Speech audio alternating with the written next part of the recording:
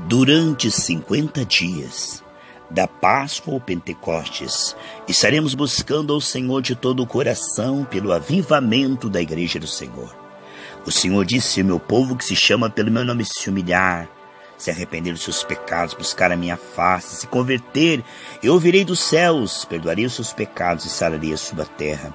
Ó Deus, sara a tua igreja, levanta uma igreja gloriosa para o arrebatamento, uma igreja, meu Deus, separada do mundanismo, da carnalidade, uma igreja toda sua, zelosa, especial e de boas obras. É o que nós oramos e vamos orar agora, em nome do Senhor Jesus Cristo. Deus, na tua presença, tendo dentro de nós a tua presença, tendo o Consolador, o maior dos mestres, o sábio, o Espírito Santo, somos guiados em triunfo sempre. Te louvamos porque a tua presença em nós é preciosa, é maravilhosa. O que seria de nós sem a tua presença, Pai? E a tua presença também está fluindo através de nós de forma soberana, junto com a nossa voz. O Senhor Deus é grande, onipotente, tremendo. O Senhor supre, o Senhor nos ajuda, o Senhor cura, liberta. O Senhor faz maravilhas. Aleluia. Hoje, Pai, na tua presença, pelo sangue precioso Senhor Jesus Cristo, as vestes limpas, com azeite transbordando, oramos a oração da fé.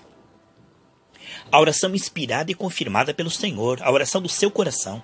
Queremos um avivamento, meu Deus querido, de interesse por ti, levantar um povo, gerar um povo pela graça, interessado em ti, na tua palavra, em alcançar os perdidos, envolvidos com o reino de Deus e com a sua justiça. Um povo todo seu, zeloso, especial de boas obras. Um povo que te coloca em primeiro lugar sempre, que te honra. Aleluia. Glória a Deus. Pai querido, quero profetizar vida no teu arraial Aonde houver trevas, eu digo, haja luz agora. A partir desse momento, Senhor, quebramos todas as amarras, cadeias, correntes, grilhões.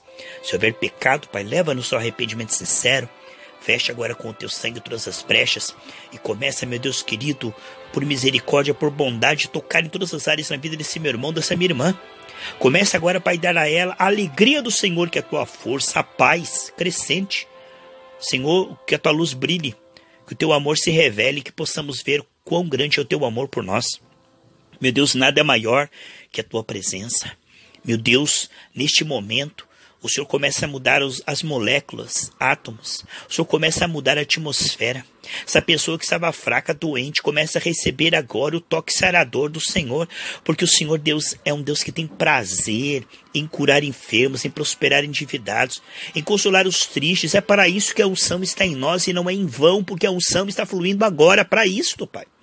O Senhor não colocou em nós a tua presença, a tua unção à toa, mas para produzir fruto e resultado na vida das pessoas. E neste momento, Senhor, na intensidade máxima, estamos aqui, no temor do Senhor, e a glória será tua. O fruto é todo consagrado a ti, porque vem de ti.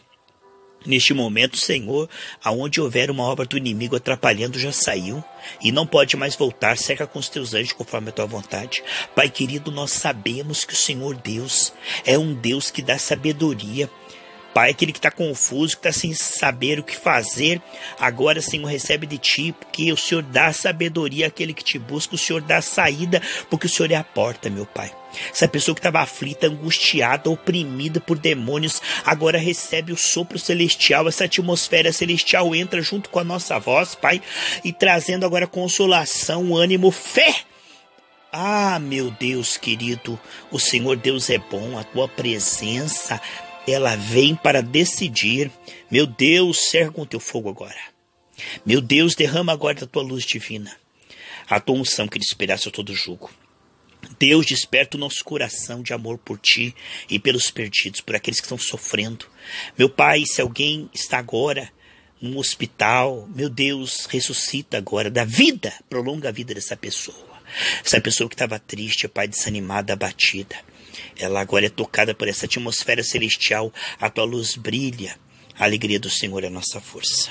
Deus maravilhoso, te louvamos porque enquanto oramos o Senhor envia anjos, o Senhor opera pessoalmente, o Senhor está envolvido.